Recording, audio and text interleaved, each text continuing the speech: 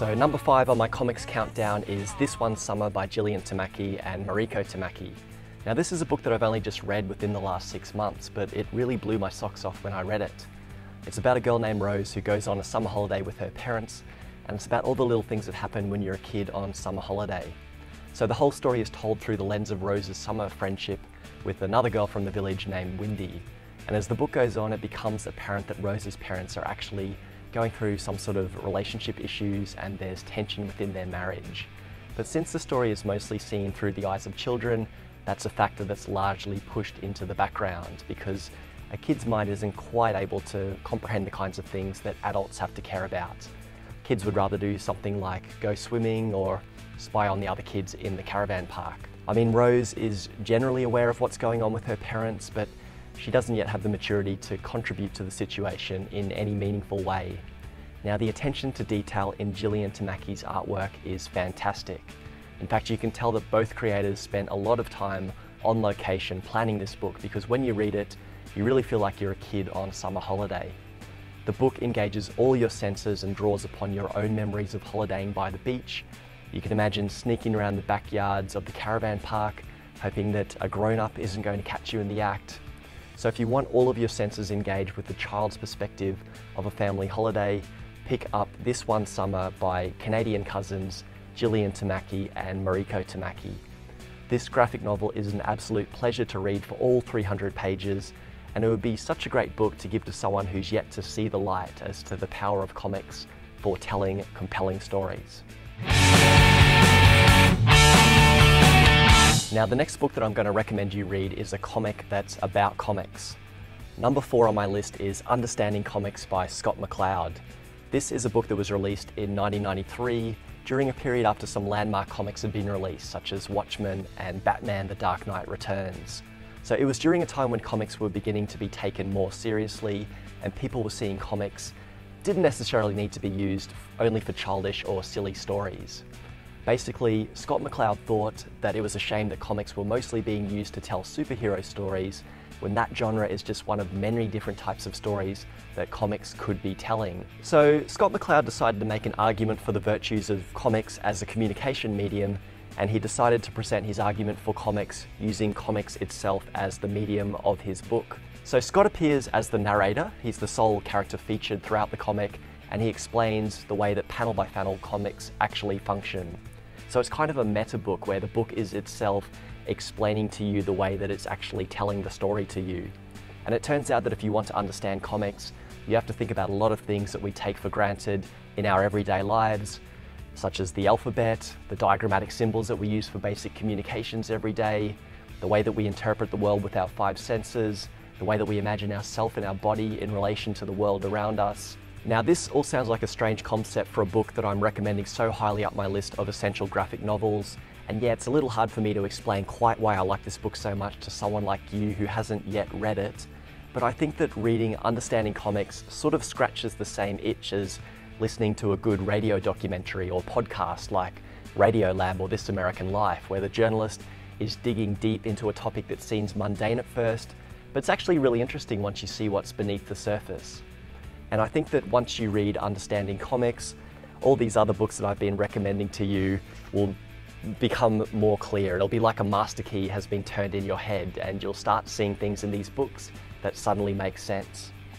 So check out Understanding Comics by Scott McCloud and there's a sequel to this book that I really like called Making Comics. And if you want to hear me speak a little more about making comics, check out another video on this YouTube channel about my list of recommended books for comic creators to read. Now the next book I'm going to discuss is a big one. It's actually the first comic to win the Pulitzer Prize for Literature. Of course, it's Maus by Art Spiegelman.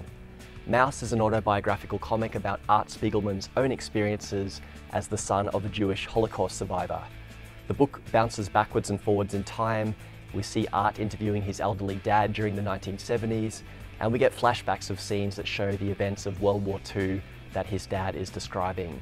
So the book is one man's experience of the Holocaust, intermixed with scenes that depict the actual process of the interview, and also scenes with Art, the son, ruminating on the whole experience, such as talking to his wife about it all. Now famously with the artwork for Maus, Art Spiegelman decided to draw the Jews as mice and the Nazis as cats, which is a decision that he made for a number of reasons.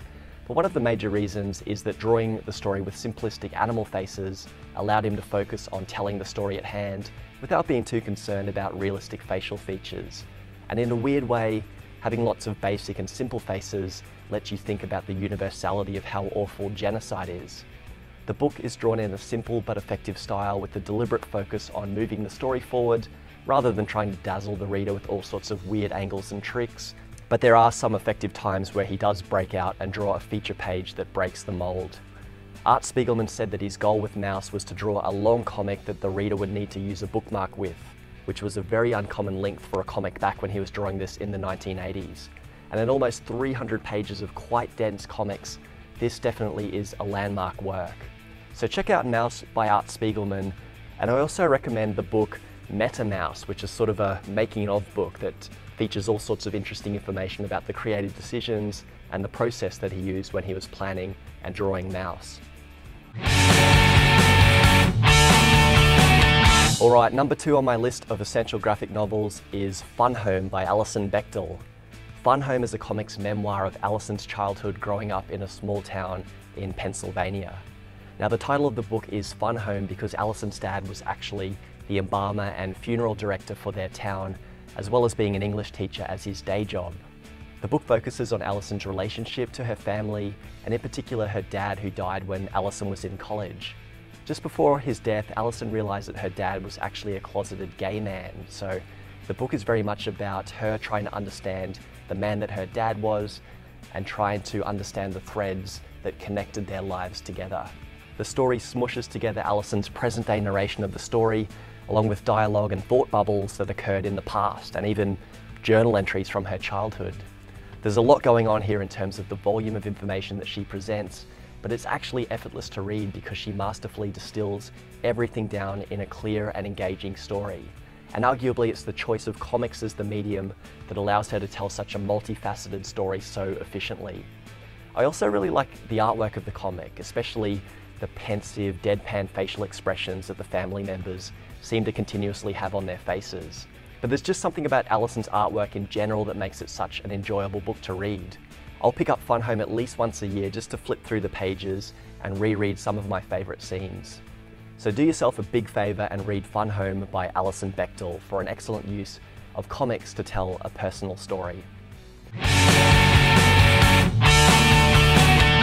Number one on my list of essential graphic novels is Blankets by Craig Thompson.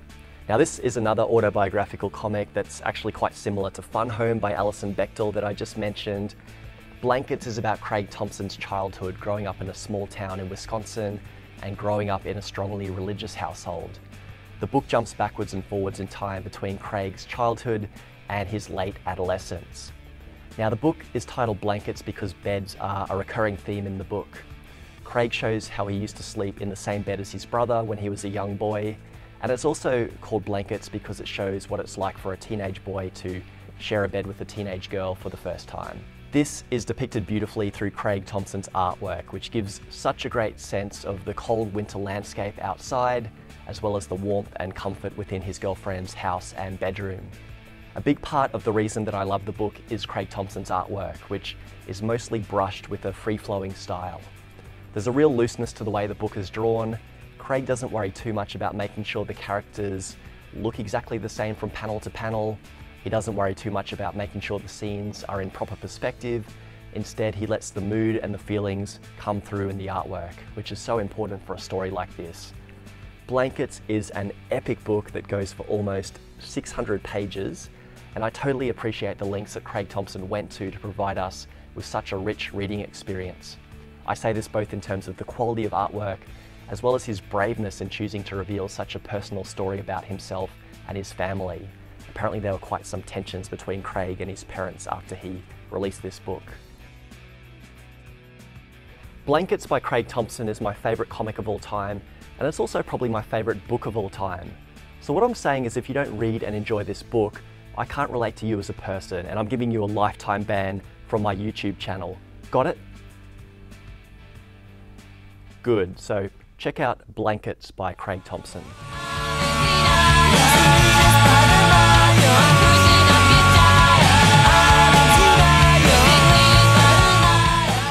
So that's it, that's my list of top 10 essential graphic novels, the comic books that I think hopefully everyone will enjoy. Now please keep subscribed to this YouTube channel because I'm going to continue these book reviews. Next time I'll be recommending some comics that I really like but may not be everyone's cup of tea. I'll also release a video about my favourite Tintin albums as well as some book recommendations for cartoonists who are wanting to make their own comics. If this list was helpful and you'd like to buy some of these books that I've recommended, check out my Book Depository affiliate links below. If you make any purchases through the Book Depository after clicking the link, I'll get a little financial kickback, which would be a nice little tip from you to me, don't you think? And if you like these YouTube videos, please support my ongoing crowdfunding campaign. My crowdfunding campaign helps me to find the time to make these videos, as well as to draw the comics that I publish through my website. So if you like this sort of content, please visit crowdfundstu.com where you can pledge a small recurring monthly payment. Thanks for watching this video and I really hope you'll consider reading some of these books. Thanks.